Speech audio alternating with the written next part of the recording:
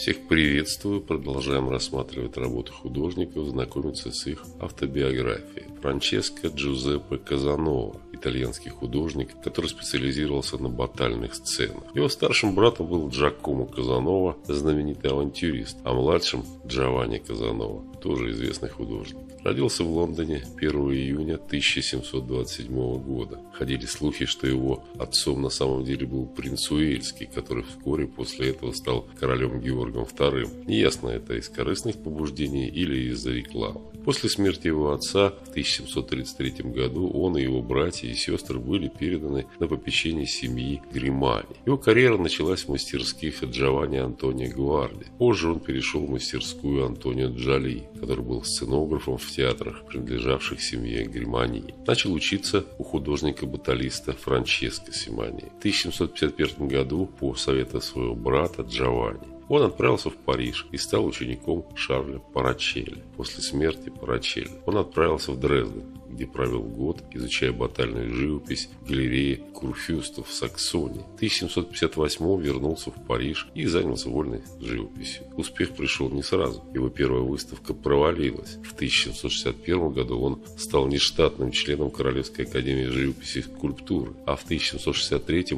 был произведен в действительный член. В результате благоприятной критики со стороны Дени Дидро он получал заказы от аристократии. Позже Дидро высказал негативные мнения о творчестве Казанова, но его репутация уже была создана. Его слава вскоре распространилась на восток. Начиная с 1768 года он получал заказы от Екатерины Великой на строительство Эрмитажа. Два года спустя он создал свои четыре знаменитые картины катастрофы, которые были приобретены Жаном Бенджамином Делаборде по поручению короля Людовика XV. В 1162 женился на Жанне Мари Жоливе, балерине театра итальянской комедии, известной как мадмуазель де Аланкур. Ее профессиональные связи также обеспечили его множеством клиентов. В 1775 году, через два года после ее смерти, он женился на недавно овдовевшей Жанне Катерине Делашоу. Брак оказался неудачным, поэтому он бросил ее в 1783 году. Нашел убежище в Вене под защитой принца Шарля Жозефа де Линя, который представил его канцлеру Кауницу. Быстро стал популярен при Венском дворце. Надо сказать, что в дополнение к своим картинам